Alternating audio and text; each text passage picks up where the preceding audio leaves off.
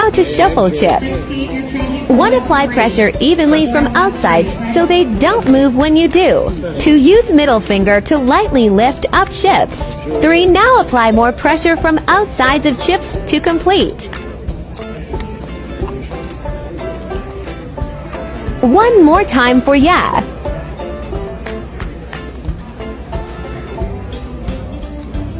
That's it. Have fun!